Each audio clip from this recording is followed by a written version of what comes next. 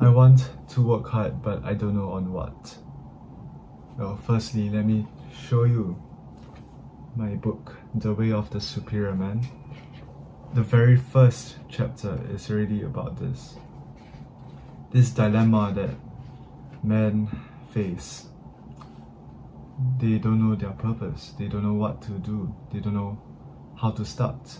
Well, first chapter Stop hoping for a completion of anything in life.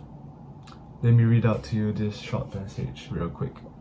Most men make the error of thinking that one day it will be done. They think, if I can work enough, then one day I could rest.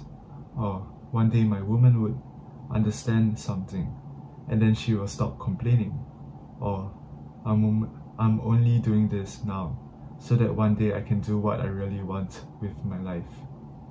The masculine error is to think that eventually things will be different in some fundamental way. They won't, it never ends. As long as life continues, the creative challenge is to tussle, play, and make love with the present moment while giving your unique gift. What this means in layman's term is there is never a right time. There is never a right moment for you to start there's never a right action for you to do. So stop waiting. You're basically procrastinating when you think that I'm just waiting for the right time or I'm just waiting for the right thing to do. Just do it. Just do it. Just do something and just start right now. Turn your brain off. We have, as humans, we have so complex brains that while we are so intelligent, we also overthink a lot. So at times like this, when you're hesitant and you're like not knowing what to do, turn your brain off, try something as simple as like uh, imagine you're like a fat guy or unfit guy and you don't know what to do. Calisthenics or weightlifting or powerlifting or just go out just just drop down and do some knee push-ups. Just go to the gym and do some bicep curls. Who cares just do something. Build that momentum of doing something. As I've mentioned in another video, momentum. Momentum of wins. Just build it. Build the snowball effect, start doing something. Because the hardest thing is to start. That's the hardest part. That's the most friction part. Just start, do something, do some lame things, but at least you're doing something. And it builds up. You get the experience, you get the trial and error, and you know what to do. You gain like experiences and mistakes and you learn from them and you slowly perfect your way to doing what you want and doing what you're supposed to do. So let me give you a so the opportunity doesn't come to you. You chase the opportunity. So stop waiting and just chase the opportunity. I have an analogy for you let's say we have two rats. They are food deprived for two days. And we have this maze. At the end of the maze there is some super delicious cheese to eat for the rats. And in this maze however there are many dead ends it's a very big maze. And some ends there are cats waiting to eat these rats.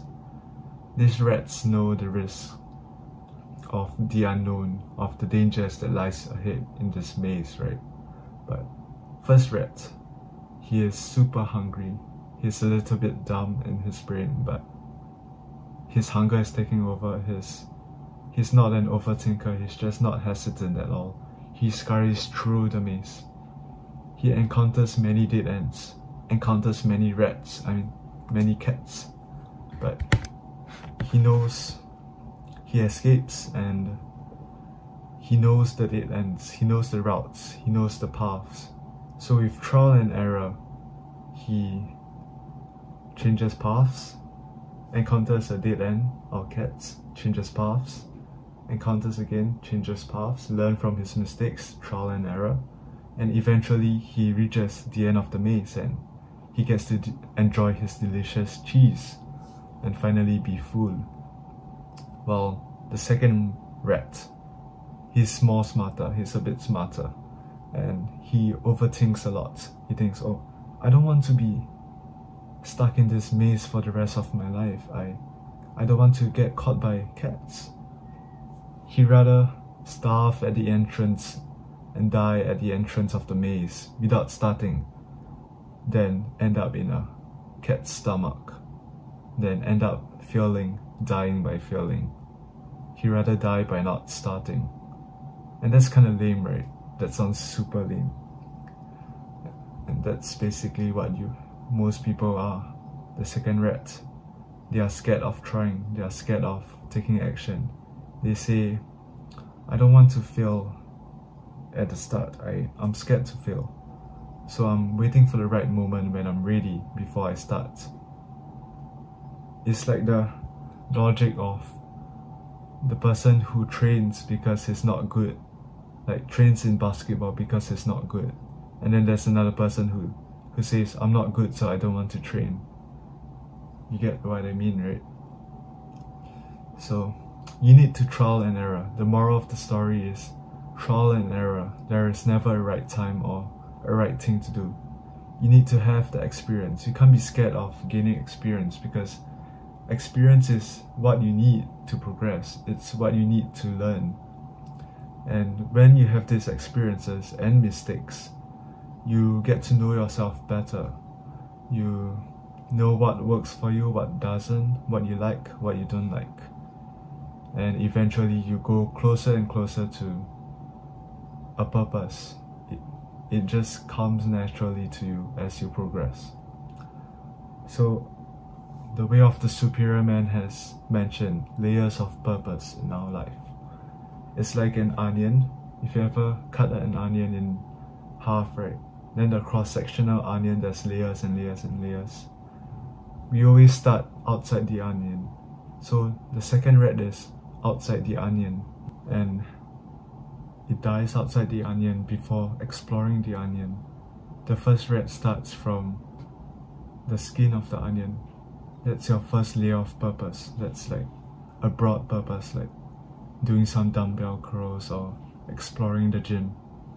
And when you go further into the onion, you peel off the layer, you go to like the inner layers. That's when you find out more about your purpose in more detail, in more like precision and specification to yourself, to your identity. And when you start progressing, you start venturing deeper into these layers. You peel off, peel off, peel off. You know what you're good at. You know what calls to you. And eventually you would find your clear purpose, your specific purpose made for you, what you're made of, what you're made to do. And it's a process, it's a long process of peeling off the layers of purpose. But eventually you would still find your purpose. Only if you take action and only if you have the experience and trials and errors. That's how you find your purpose. It comes to you. But you have to chase the purpose. You have to chase the opportunities and it just naturally show up after you've only chased, only after you've chased. So, if you don't know what to do, if you have something in mind but you're thinking of the right time and you're thinking, oh, it's not the right time yet, you're waiting for it, turn your brain off, start right now, do something right now. Just do it. And gain the experiences gain the mistakes learn from them. Eventually you would work things out. Okay